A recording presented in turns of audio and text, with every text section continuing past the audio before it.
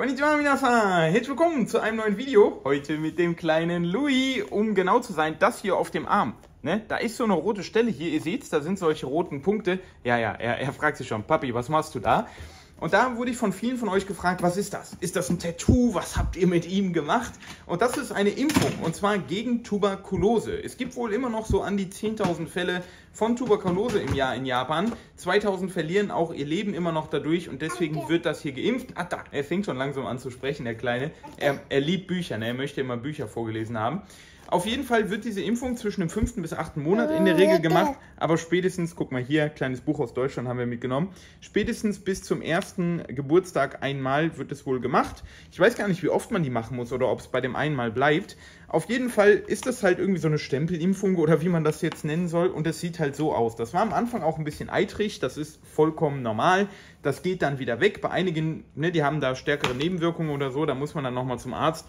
Louis hatte jetzt aber keine starken Nebenwirkungen, sondern es war alles ganz gut. Und die bleibt auch bis ins Erwachsenealter. Also im Erwachsenenalter sieht das dann nicht mehr so rot aus, sondern es schrumpft natürlich, weil man größer wird und der, der Hautbereich dann sich natürlich verkleinert, je größer man wird. Aber Mayu hat das auch noch auf dem Oberarm. Da sieht man noch so, ja, Narben könnte man sagen.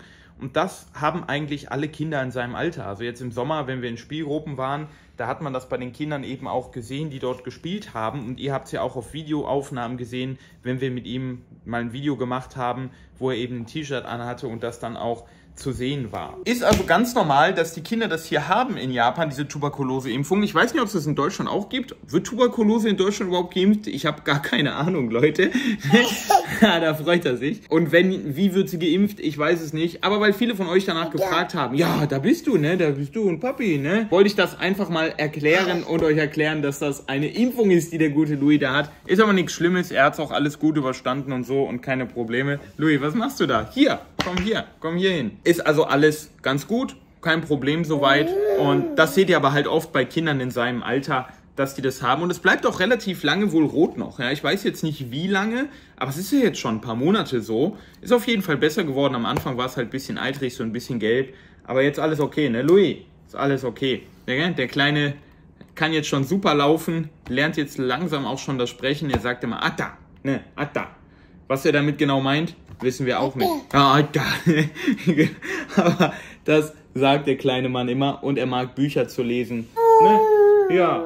Wir gehen jetzt raus. Ich gehe jetzt mit ihm. Mayu ist schon in der Stadt. Die hatte dann einen Termin beim Zahnarzt und wir machen uns auch jetzt auf den Weg dahin, wo Mayu ist und werden mal gucken, was der Tag noch so bringt. Heute regnet nicht so schön, aber so muss das sein. Alles klar, vielen Dank fürs Zusehen, Leute. Sollte nur ein kleines Video werden. Jetzt wisst ihr, was der Louis da für ein schönes Tattoo am Arm hat. Vielen Dank fürs Zusehen. Lasst gerne ein Abo da, wenn ihr mehr aus Japan sehen wollt und bis zum nächsten Mal.